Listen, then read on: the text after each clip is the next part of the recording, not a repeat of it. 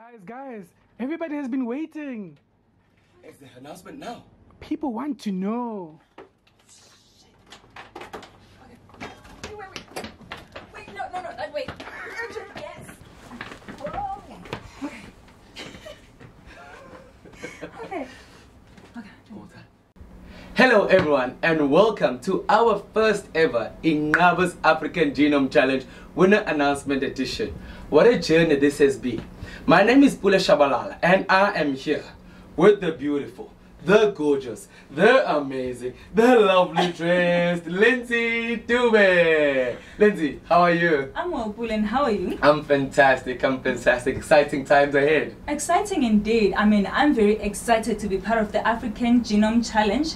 And I mean, as we went through the videos that were sent in for the competition, I gained a lot of insight on how scientists from different African regions are trying to preserve the African biodiversity and also improve the standard of living using molecular biology as a tool. But as I've already mentioned, tonight is about announcing the winners Yes.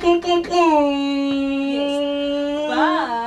But, before we get to that, let's get a word from our technology partners that brought us the PEC Sequel 2E system. Hello. On behalf of all of us at PacBio, I would like to congratulate the winners of the Africa Genome Challenge, organized by Inqaba Biotec, Africa's genomics company. My name is Jonas Korlach. I'm Chief Science Officer at PacBio. I was very excited when I learned about the Africa Genome Challenge and was really impressed and inspired by all the great entries and proposals. We feel very privileged to support the African research community to make PacBio hi-fi sequencing available in Africa through Inqaba Biotec. It is clear that hi-fi reads, which uniquely provide sequence reads that are both long and accurate, are very advantageous for the proposed genome sequencing projects, as they represent the best-in-class data type for de novo genome assemblies, as well as for many other sequencing applications. In addition, the new Sequel 2E system, with its on-instrument data processing, is the only sequencer available that outputs hi-fi reads, resulting in much less need and required investment in downstream computing power. Congratulations again to the winners of the Africa Genome Challenge. We all look forward to great science ahead with these exciting projects. And a big thank you to Dr. Jonas Korlach. And who better to tell us more about how great the PacBio system is than the Chief Scientific Officer himself?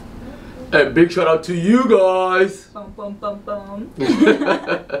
now, Lindsay, could you please explain to our viewers how the voting, or rather, how the winners will be announced? So, for this challenge, we had six categories, namely metagenomics, invertebrates and microbes, vertebrates, plants, East Africa selection, and West Africa selection. A winner will be announced for each category.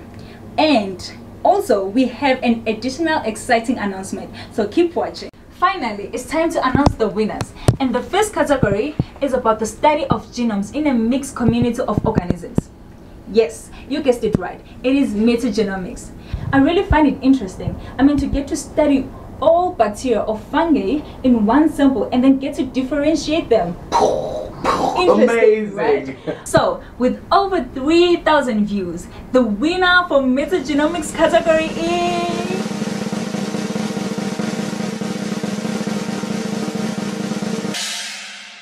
Reefs worldwide are threatened by climate change, and we are on track to lose over 90% of corals within the next 30 years. Now, I take a lot of interest in plants, from technologies that can grow herbs without soil to sequencing genomes that have medicinal properties.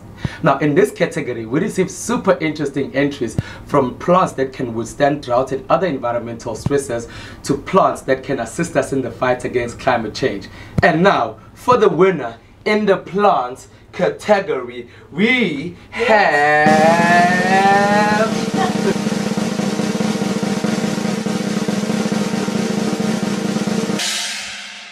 58% of seagrass meadows are in decline.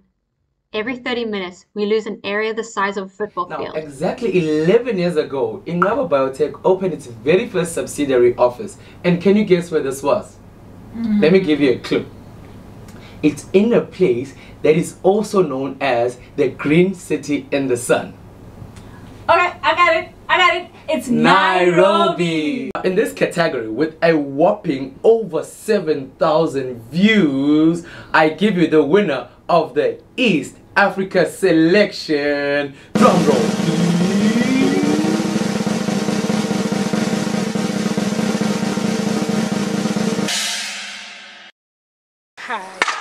Is Priscilla Kimani from Kenya, and uh, I would like to sequence the genome of this tree right here. So, ladies and gentlemen, I have in my hands the surprise we've been going Oh going no, on. Bule.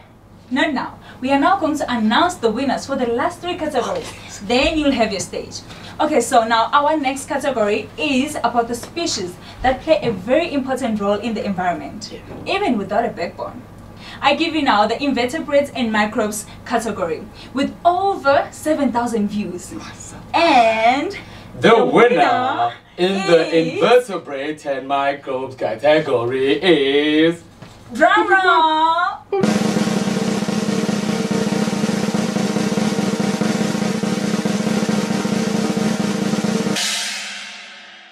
Studying the genomes of photosynthetic organisms that can survive in extreme conditions, like Cetanayana. Wow, wow, wow. For our next category, I must say, this has been very exciting with a whopping view of over 13,000. Big number? Very big. We have not only one, but two Two winners winners. with a combined vote of over 3,000. This was a very competitive group and we enjoyed every project that was submitted. Ladies and gentlemen, we give you the winner of the West Africa selection.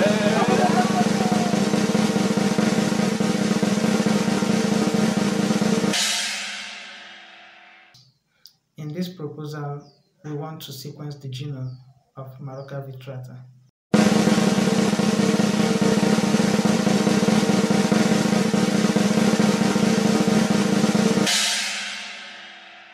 In this project, we seek to sequence the genome of the African catfish in order to obtain data that will facilitate better understanding of its biology. We now present to you the last category, but definitely not the least. The category that we fall in, the category with the most intelligent species. Ladies and gentlemen, the winner for the category of vertebrates is. Watch your screen.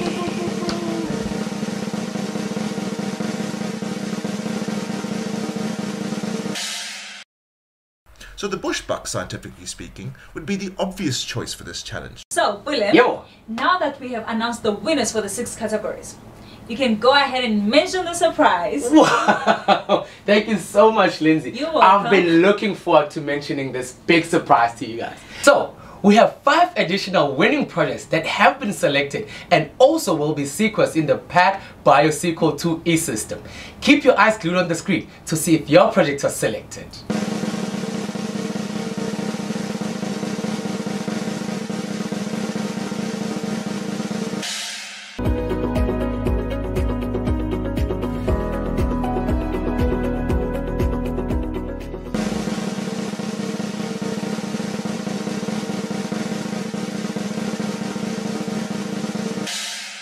Ever seen a cow or a sheep with facial eczema that looks like a sunburn?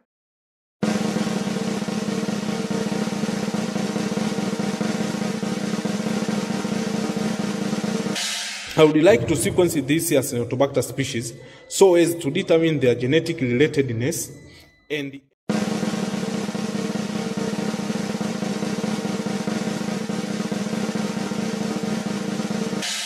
Long-term goal of this project is to develop improved guinea fowl lines with much better meat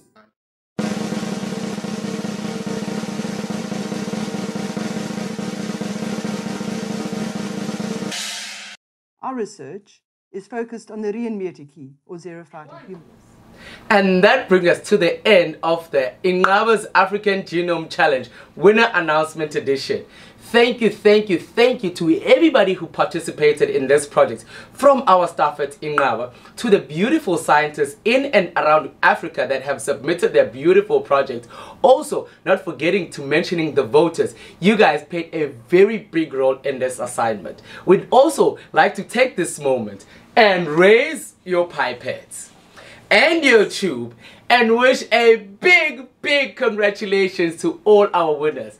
Now, all our winners will be contacted by our team at Inqaba Biotec, samples collected, and they will be sequenced right here at Inqaba Biotec Pretoria headquarters. So, for regular updates, please follow us on all our social media platforms. From Bule, And Lindsay, till, next time. Bye.